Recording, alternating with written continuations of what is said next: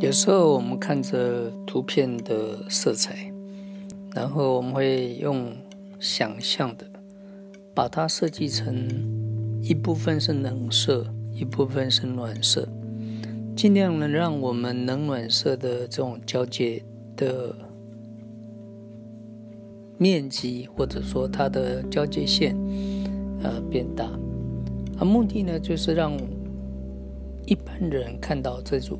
这个作品的时候，很快能够了解到色彩它的温度代表了什么。因为色彩的温度是很维系的，不像我们一般看到的透视，它非常清楚。这个街景的远近，我们就知道就像两条平行线，它有个小视点。可是色彩的色温呢，就不是那么明显，尤其我们对温度的感觉。呃，我们如果在穿衣服的时候，稍微热一点，稍稍微冷一点，我们都会感觉到。可是我们没有办法明明显的说明现在几度啊。最主要是我们非常敏感于温度的变化，所以利用这样的敏感的变化，我们对它的感觉，我们就把它应用在画布上。让色彩的温度形成这个距离，因为比较冷呢就会往后退，比较暖呢就往前进。所以我们在调色板里面呢就开始设计成冷跟暖先跑出来。也许你们会可以看到白色加了红色，它也会变一点冷色。那这些冷色呢，通常就是在光线底下。慢慢的，它就会呈现比较近的距离。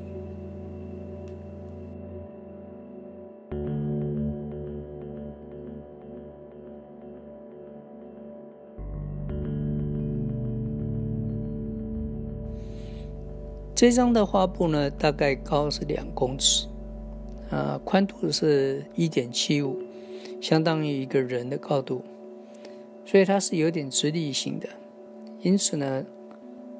每个形，它都是纵深的，意思就是说它是从底部画到上面来，它是有关联性的，因此它的色彩也必须有上下一致的关系。我在做这个画的时候，我就会去注意到色彩从下到上，它有一部分呢是有衔接性。有不有一部分呢是没有笔触，有部分呢是有笔触，啊，皆有笔触的差异性呢，我们来看形成这个纵深的关系，因为它是直立的画布。如果你看到一个两公尺高的巨人，我相信你一定会抬头稍微看一下，哇，这样子。所以呢，其实画布的大小呢。给人一个惊奇。再来呢，我们如果能够在一个惊奇里面呢，再给予一点点的不同，意思就是说，它只不是一支电线杆，它不只是一个门，它是一个有话跟你说的色彩。它这个色彩呢，我们就尽量把它摆进我们刚才调的颜色。我们刚才从冷色到暖色。我们还调了一个颜色，叫做灰。这个灰是来点来自于红、蓝、黄。我们把比例稍微调接近一些些。当这个三个颜色调接近的时候，这个灰呢，它就会形成一个距离的感觉。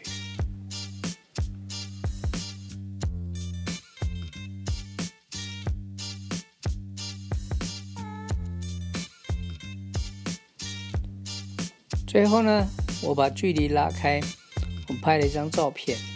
这个是大概我们刚才运动的结果。我拉在三五公尺外面去拍一张照片，这是不是很像一个抽象画？有无尽的对话，又好像有光线，又好像有什么东西在这画布里面。其实抽象画的来源也就是来自于此。你给他很大的观念，他产生了一个无穷尽的想法。